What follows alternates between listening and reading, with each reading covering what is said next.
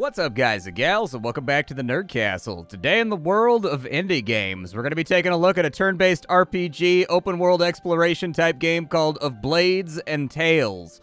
The game is currently available on itch.io if you wanted to check out the demo of the game and see if it's something that you would get into.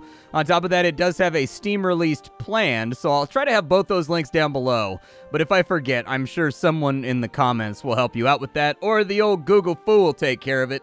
It's just my old brain beam doesn't work like it used to. It's just not as snappy and zippy as it once was. We're going to dive on in, spend about 25 to 35 minutes with the game, and see if it's something you wanted to add to your wish list or otherwise pass on. If after watching this you did indeed want to get the game for yourself, that's all down below. Like I said, you can also take a look at my Discord and my Twitch stream just in case you wanted to swing on through and be social. I know, ew, gross. Who wants to deal with social interaction? But the option is absolutely there just in case it strikes your fancy. Let's go ahead and start a new game because we've got limited time and a lot to get done.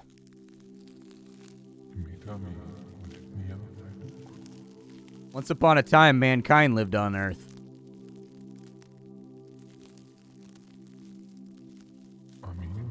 One day they disappeared without a trace, and soon after, the world began to change as well.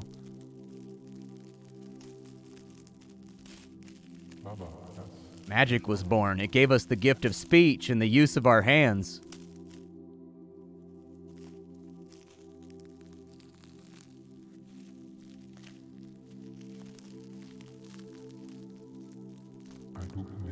We are magical beings, but will we make the same mistakes that man did, or are we a better heir to them?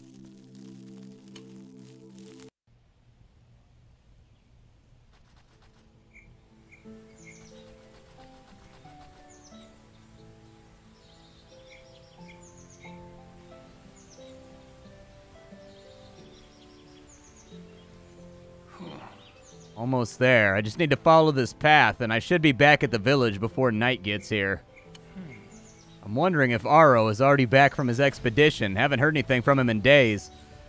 Okay, let's not waste time. Let's just hope that there are no more dangers lurking around here. Alright, I don't appear to have any weapon or anything. The movement seems to be more or less identical to Stoneshard. You just kind of click and move around, but it is actually very, very fluid. And actually, I like the hmm. saturation of the pixel art. The colors look very, very good. What do we have over here? A medicinal herb. I probably shouldn't miss out on that. Yep, that's exactly the kind of thing that you should always carry with you. It's not as good as a potion, but it'll help you recover quickly after a fight. I'm going to pocket it and use it when I need it. Okay, so we got some medicinal herbs right there. Are there any further medicinal herbs in the air? Oh, God, what is that thing? Dude, that is a bug the size of a cow. I'm not trying to fight that thing. Ow, it bit me. Stop it. Stop it right now. Well, apparently, at least on some bare minimum level. Ooh, a sword of endurance. Nice, dude. Deals plus 100% damage. All right, I got myself a sword now. Yeah, anybody else want the smoke? We can do this thing. I'm armed. I'm dangerous. I'm ready. I'm herbed out. Ooh, there's a treasure down here, too. Ooh, a health potion. Sweet. All right, so it seems like the game does actively reward you for, like, looking around. Like, I don't even think we're supposed to be hanging out over here. We were just supposed to go to town. But it seems to me as though if you take a look around, there are things squirreled away. Oop, another medicinal herb. Hold on, we got to get our hands on this. All right, medicinal herb. Let's see how good it is. So it looks like it restores 20% of our max health over a couple of turns. Oh, nice, but it auto bypasses the turns right there. Okay, I want to see if I can fight this guy. There we go. I got the sneak attacks on. You know, I don't feel like the sword is doing that much better damage than just like my fist did. Okay, we don't have any abilities or anything, so I guess we'll just carry on to the village. I think we got most of the loot from around here. And it looks like it's possible that the road died on us. Yeah, it's just kind of like a murky area of trail. Let's have a look around. Anything good in the vicinity? Or am I just going to get myself into more trouble that I can't handle? I mean, we've already gotten like a third of a level, so we might as well get like a little bit of action going on. I don't see anything. Basically, what I'm going to do is I'm going to kind of trace the outskirts and the periphery of the map And we'll try to gather up everything we possibly can for the future because it does seem to me like combat is aggressive. Like maybe we're going to pick up some equipment later on. Like it looks like we can actually equip things on our various body slots. So like maybe we'll get some kind of like functional leather armor or something at some point. But for right now, we feel kind of squishy. Oh, the village is right here. Oh, okay. Well, I'm going to go check the south. Oh, God, time passes, huh? Do I have a clock or anything like that that tells me what time of the day it is? I would really, really like to have like a sun wheel or like a sundial or something like that so you can actually see how fast the passage of time is taking place.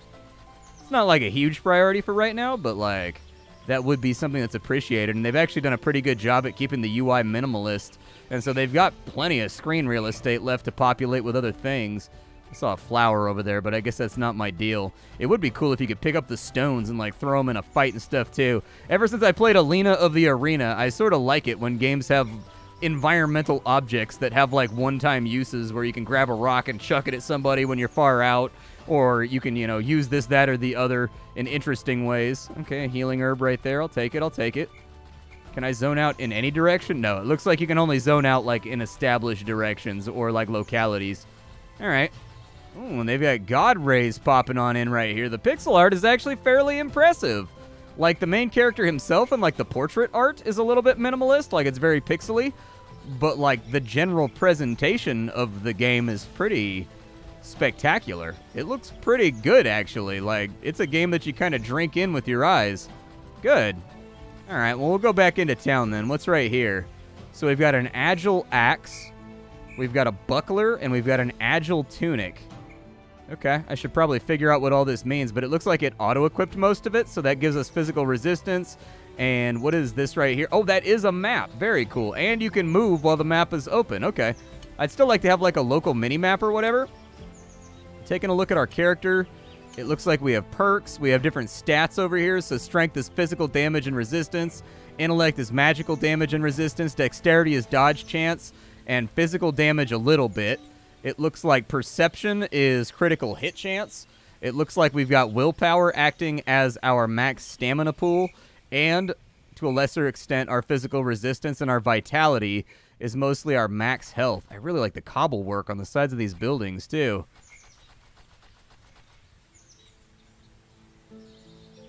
Ah, you're back. Good. Come here. We need to talk. I take it you haven't heard from Aro either. I'm starting to get a little bit worried. It's not like him to go this long without reporting in. As far as I know, he was going to explore a new crawler lair to the east. Basically nothing a seasoned fighter can't handle. Riff, I wouldn't ask if I wasn't getting a bad feeling, but you're his best student. Can you go see what's going on? Don't take any risks, though. One more thing. Meditate by the bonfire on the things that Aro taught you beforehand in preparation for any dangers you might encounter. Okay. Haha. Resting by the bonfire allows you to adjust your abilities for your upcoming adventures. Additionally, you can set it as a retreat. Okay. So, should you fall in battle or your journey be interrupted, you will magically return here. Nice. Okay, let's meditate and learn. Oh, it gave me a free level up. Sweet. Okay, so we can get a rushing blow. You charge towards the target, stun for a turn, and deal 115% damage. All right. Shields, we've got increases physical resistance from your armor by 100% for three turns. Let us tank a little bit harder. Okay. Survival, we can put down a trap. It deals 50% damage and then stuns for two turns. Yeah, let's do that. Let's get that right there. I like the idea of having like a trap or something that I can mess around with. And it looks like the rest of it hasn't been implemented yet, but you know. Oh, we've got two points to play around with. Okay. Well, let's be a little bit more tankier then. Can I drag these around? I can. Beautiful. You love to see it. All right. What's this guy got going on? Can I get any gear upgrades? All right, so he's got a cap that gives us a little bit more resistance. We don't really have any money, but for the time being, it looks like we can unload that. It wouldn't give us enough money to get into the stuff that we want to get into, so I'm just going to hold on to it for a minute. But let's head out. What is this crate? Oh, the crate is actually interactable. Okay, I saw the crate, and I just didn't know if I was going to be able to do anything with it. Throwing caltrops. When an enemy enters, it stuns for a turn and deals a little bit of damage. Okay. Can I put that on my hotbar too? Yeah. No? Oh, I guess not. Okay. Oh, we've also got skill points that we can put in. All right. Well, let's just go for some strength then. Another crate over here. Let's go bust this guy up. Yeah, dude. I am the destroyer of crates. he that makes cubes quiver with his coming. Uh, do you have anything? What are you, like a potion vendor? You got a sweet hoodie. I'm a little bit jealous of it. 400 bucks for for a potion. Okay, I don't think I'm going to be able to afford that as of right now. However, we have a clear goal and direction that we're supposed to be flowing out into, so flow I shall. Uh, let's head out to the east, I guess, since that's what it sounded like it wanted me to do. We've got enough medicinal herbs that I don't feel particularly too worried about our safety. Like 20% health is pretty solid. And so like I feel like we can probably heal up. Just in case the fights are a little bit nastier than what we expected them to be. Oh, there's another buggy boy over here.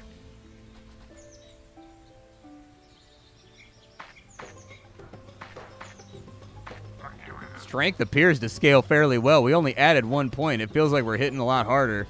So that's good. We only lost like one HP right there. So long as I've got my shield ability, I think we might be able to tank through it all. Oh, so he gets like almost like a double turn. So he gets like a move and an attack. Okay.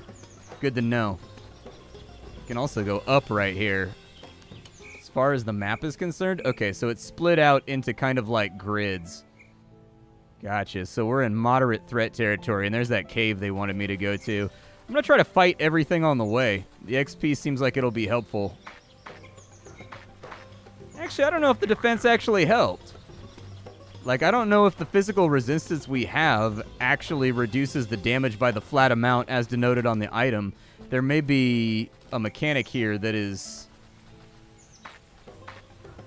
a bit more intricate. I haven't used my trap once yet either. Let's take a look. Maybe it'll have it tool tipped. So dodge chance is 9%, physical resistance is 5. But it doesn't tell us like a formula or anything else. Now would probably be a good time to use a medicinal herb, so there we go. No sound effect on the medicinal herb, but this project is early enough along that like I'm not that concerned about it. I'll put a trap. Oh, he went around it?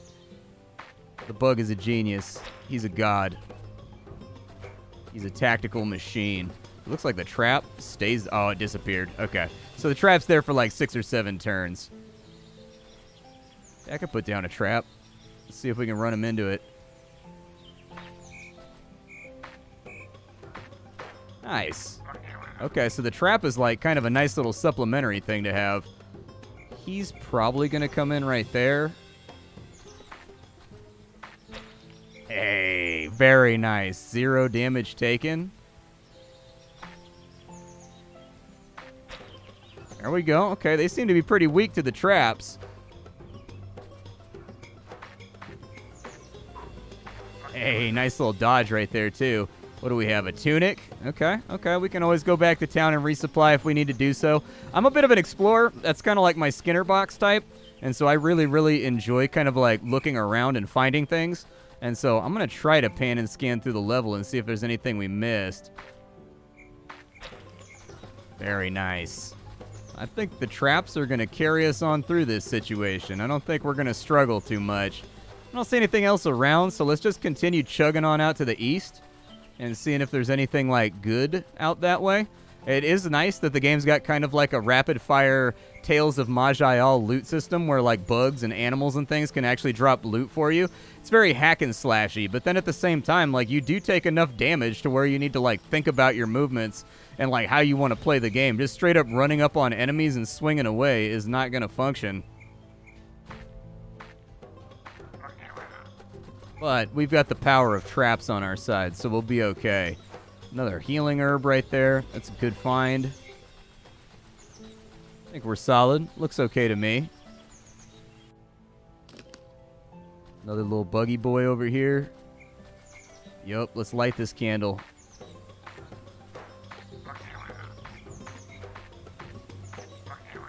Down he goes, and we've got an agile axe right here. Physical damage plus two. So what is ours doing? Ours is doing plus two. Okay, good to know. I'm going to pop off another herb real fast because we've got another replenishment right there. Honestly, we're kind of like swimming in healing items. I do think it's a good idea, though, with the amount of damage you can potentially take just in like one simple fight, to take the time to find some of these extra restoratives because if you don't, I think you're going to get caught with your pants around your ankles. I have no patience for you, sir. And I will not stop my journey in order to deal with you. Kind of wonder if those little bugs are like huntable or something if you have a bow. From the way that they run away, I'm kind of guessing maybe they drop like supplement. Oh, he didn't do what I thought he was going to do. Can't step on my own trap. I figured I'd try it right there real fast. That works. And actually, I think we can kite this guy until our trap comes back up. There we go. We found the cheese. The maximum strength queso. We have isolated it.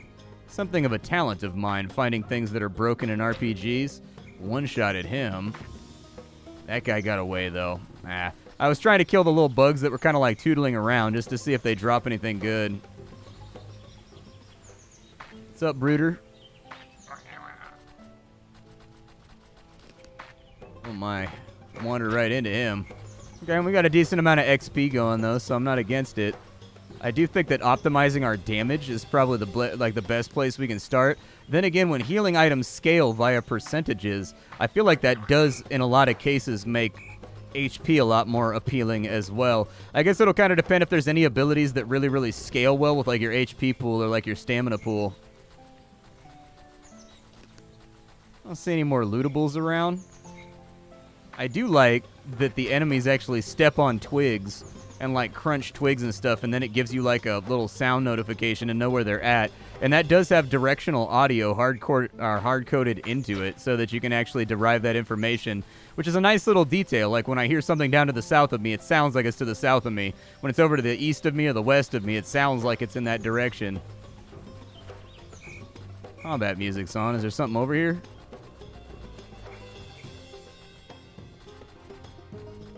I think it's just that little bug right there. I don't think he's going to be anything that's like a real threat. Let's medicinal herb it up real fast, get that HP looking a little bit better.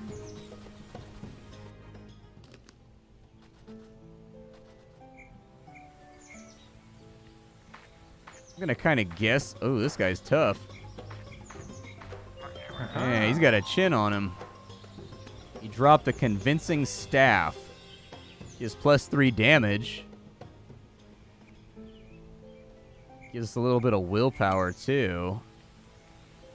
We'll lose some defense, but we're getting plus one damage. I'll try it out. Looks like we can have separate, or separate item sets, too, so, like, we can kind of take both. There's no reason for us to abandon one over the other. I don't know what the hotkey is for quickly swapping your sets. No clue there, but seems alright. Uh, go ahead and give me another strength right there. I want to hit hard. Oh, that's actually dealing less damage. Let me take a look. So if that's dealing less damage, it's probably due to a stat discrepancy. Yeah, it looks like staves. Well, it's kind of hard to say. It says it affects talents. So maybe it affects the things that are listed underneath right there, like the stuff like the deals 75% damage, chance of bringing the target off balance, reducing their damage. Probably stick with the sword and board for right now, since it does seem like a damage loss.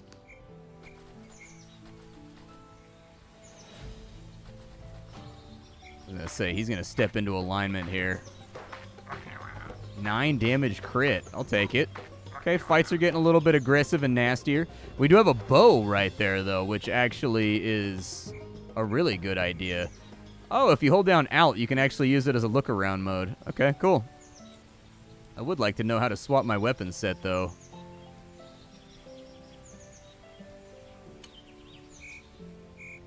R is how I do it. R, like a pirate. Alright, so we'll put that over there, and we'll start out with the bow, and then we'll finish him off with the sword if need be. I don't know if it's like a free action. It is not a free action, so we'll have to take that into account. Okay, they're now down. Let's go ahead and healing herb up. Can I put healing herb on one of these? Doesn't look like I can. All right, well, we'll use a restorative real fast just to get us back in the game. One shot at him, very nice. Oh, there are many of you, huh? Looks like I can attack the hive.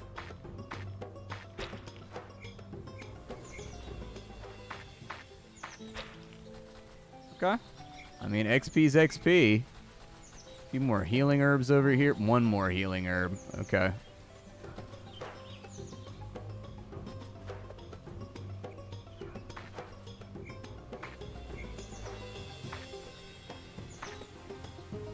Yeah, it gives me a free turn right there to swap my weapon out. A convincing chest armor. How does that vary from what we have? We have a dexterous armor? Okay. Since I'm using the bow, I'm going to keep it on the dexterous for right now. Is there anything up this way in this little pass?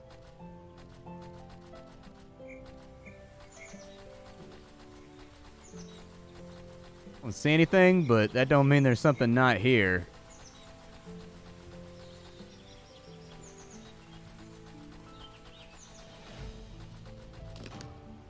Oh, there's the enemies.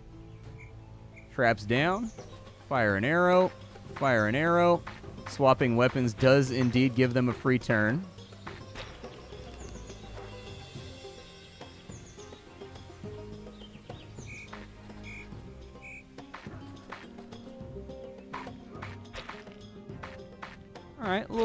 Scuffed right now. Probably need to take this hive out before things get any wilder. We'll medicine herb up real fast, maybe twice. There we go. All right, take this thing out. This thing is actually like a high priority target. I do like the sh the shake and wobble effect it gives you when you uh, get a critical hit right there. I also like that if the thing on the ground is money, when you walk over it, it fires coins everywhere and kind of like a satisfying splash instead of just walking up to the bag and looting it when it's like an item or something. Oh, it looks like I can actually point blank people with traps too. Not a terrible thing to be aware of.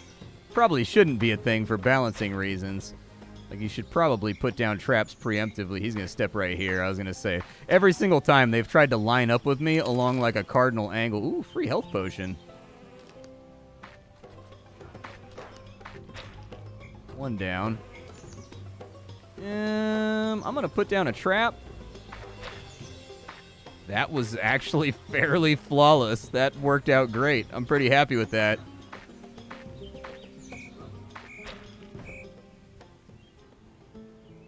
Oh, you can't use two abilities in one turn. Gotcha. Okay. Ten more right there, but our stamina's looking kind of busted. Looks like it comes back all by its lonesome, though. But I do like that they've got like these little nooks back here that are actually like lootable and full of things and XP and item drops. So that's really nice. Well, so far not a whole lot else around, but it says the cave that we're looking for is actually on this tile. So I guess we'll just keep looking around till we find it. Oh, we've actually got a we've got like a objective flag. I didn't even notice it.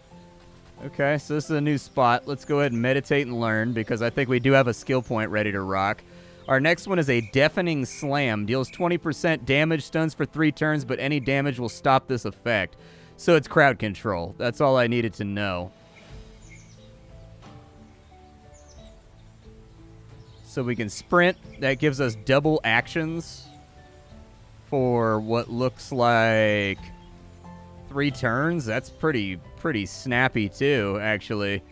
Uh, I'm gonna go for the CC though. We'll get the shield bash. All right. Yeah, we can set this as a place of retreat just in case we die. All right, let's go down into the dungeon. Yep, I, I had a sneaking suspicion that's how that was going to go. Oh, they're hatching.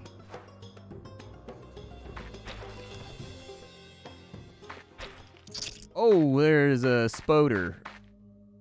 Okay, all right, all right, all right. You're the big man. You're the big man.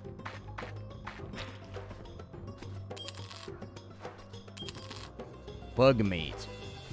Tasty.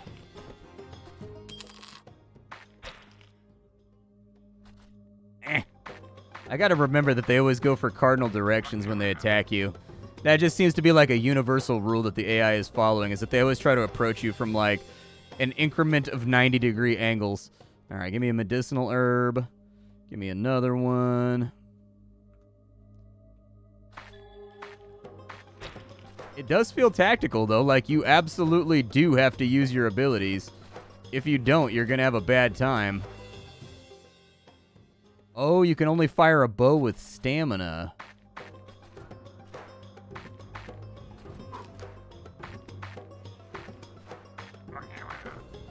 Oh, there's a hive up there, too. I didn't even see that.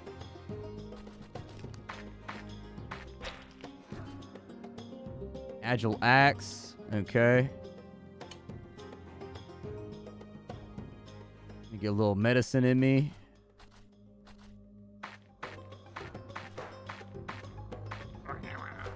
You can see my damage there because of the fog of war.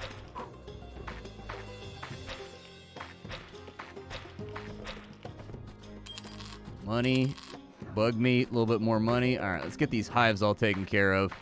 We've got too many enemies spawning around here, and it's making this into a headache. Oh, boy.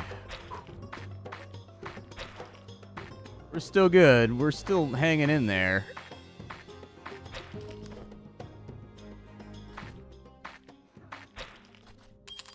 A little bit more cash. Like the sound effect for the cash pickup. Sounds nice and good and clinky. I do think the attack sounds could be dialed up a little bit and be a little bit punchier. Or at least increased in loudness. But then again, we've got the split over here and everything's already on max. But I, I do think that the, the attacks and you getting hit could be a little punchier.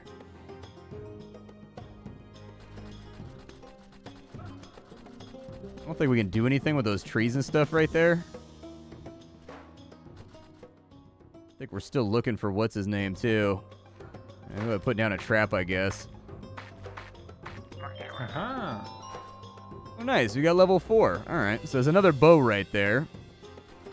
Not particularly better or worse than what we already have. I'm gonna try to kill off some of these bug hives over here. Those things have some serious movement to them.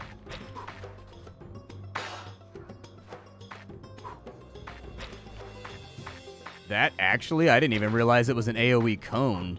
So that's even better. It stuns three things in front of you for three turns. That's a really powerful ability for getting yourself out of trouble like we just did. All right, let's take this hive out real fast. I'd prefer for this whole cave to be safe by the time we get out of here. Another health potion. Okay, all right, all right. Any treasure chests or anything around? I don't see much. And without a mini-map, I've got to kind of do this. Ow, what is that thing? Nope, don't like that. Oh, he can get me. Ow! Okay, you be stunned for a minute. I'm to drink a health potion. Oh, he's a tough guy, huh?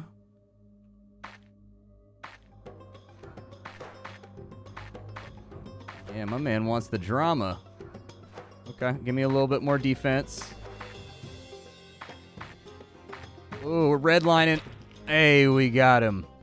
So we got a wary axe, a convincing sword. That's a plus three damage sword. An orb of retreat. This will take you back to your campfire. Okay, good to know. Good to know. Good to have. All right, medicinal herb it up. We're probably gonna need about two of those. Like we gotta we gotta sleep this wound off.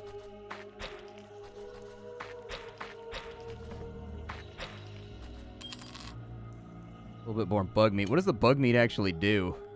Restores 50% of your max stamina. Oh, nice. So it's like a stamina restorative.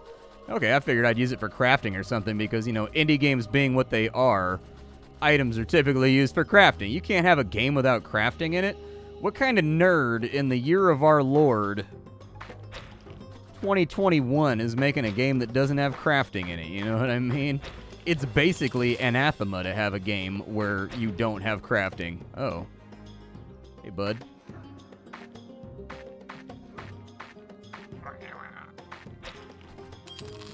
A little bit more monies. Hey, there's my man. Aro is lying on the floor, visibly dejected and injured. When he sees you, he smiles. Riff, it's good to see you. Don't worry, I've had worse. Listen, you must quickly return to the tribe and warn the others. Something in the lair isn't natural. At least one of those beasts down here seems to be magical. Riff, I fought a rat witcher once who had less skill than this insect. I don't have an explanation yet either, but it's important to warn others. Talk to Tana. She'll know what to do. Are you coming? I will, but you'll be faster without me. Now that you've cleared the way to the exit, I'll follow you out. We'll meet up later in the village. Okay. Um, I'd like to sweep the rest of the cavern for more sweet ass XP and sweet loot. Just saying. I actually think this is one of those cases where I've been really thorough and I actually found everything that was down inside the dungeon. So we'll just bounce on out. I am going to meditate over here, though. I'm going to meditate for a minute. Meditate. What does that do? Increase or decrease your received damage by 5% for talent shields. Okay. I do like the idea of getting double turns, but stamina does seem to be a hard limiter for us right now. You know what? Let's stay on the path. I see no reason to divert. We're going tanky. We're going real, real tanky. Uh, this game's called Blades and Tails. I hope you guys liked it thus far. Very interesting little title. If this, I mean, this is a really well put together alpha demo proof of concept. It really sincerely is. So I'm actually kind of excited to see where this game's going to be at in like three or four years once it's had some serious elbow grease and whatnot put into it. As an observation, I would like to see some kind of change in your character either as you level up or as you hit certain storyline points, or as you put on equipment, the weapons do seem to change. We've got a little shield right now and a little sword, and it changed to a staff when we had that. But I would like to see your character's armor and whatnot change as well. Given the nature of the fact that this is probably a small operation game, though, developed by like a couple of people, and they're using sprites, that might be more difficult than me just suggesting it. Like, I'm not unaware of the fact that sometimes there are financial constraints when it comes to working with sprites. And so that may not be an option, but I would recommend having it at certain junctions. Your character like starts to look more professional like a warrior and whatnot, gets a little bit more armor. Just tie it to the narrative if you have to, you know what I mean? But I do always think that like a clear sense of progression is a good idea in games like this, a visual sense of progression. Uh, so anyways, other than that though, between that and I think the sound effects could be a little bit more punchier, a little bit more plosive, a little bit more visceral. Everything else is fantastic. Uh, my name is Splattercat. Thank you for stopping on in. This is a Blades and Tails. I'll see y'all tomorrow with something hot and fresh off the indie skillet. But up until then, I'm out of time for the day, so I gotta go. Thank you for hanging out with me and patronizing the channel, and I'll be back later with more for you. Bye, everybody.